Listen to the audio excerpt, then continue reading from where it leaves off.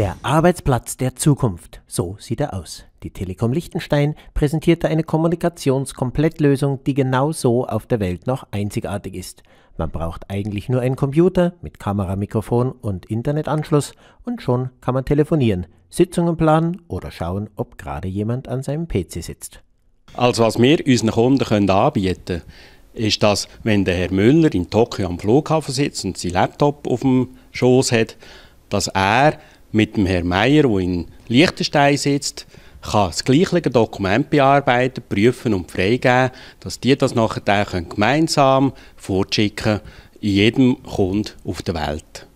Bei der Pressekonferenz am 5. April führte die Telekom das neue Produkt auch gleich vor. Ein junger Mann, der irgendwo auf der Welt am Computer sitzt, war plötzlich mittendrin und bekam auch die gespielte Geschäftssitzung ganz direkt mit, dank einer Art Big Brother mitten auf dem Tisch. Wer gerade redet, erscheint in einem Feld auf dem Bildschirm.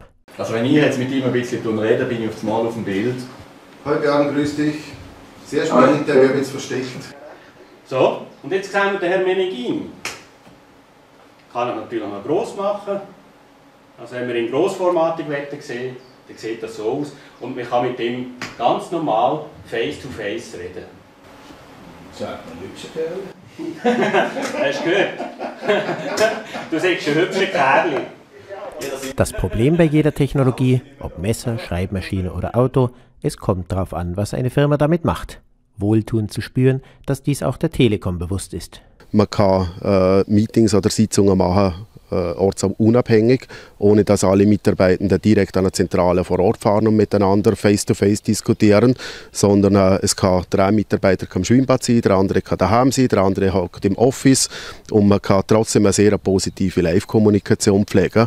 Auf der anderen Seite ist es natürlich für jede Unternehmenskultur auch sehr wichtig, dass man sich wirklich äh, im richtigen Leben auch wieder trifft, gemeinsam auch wieder mal einen Kaffee trinkt in der Cafeteria, sich auf zwischenmenschlicher Ebene austauschen kann und äh, es kann natürlich die ganze Technik nicht substituieren. Es ist wichtig, dass Mitarbeitende physisch schon miteinander äh, in Kontakt treten und reden können und nicht nur über technische Hilfsmittel.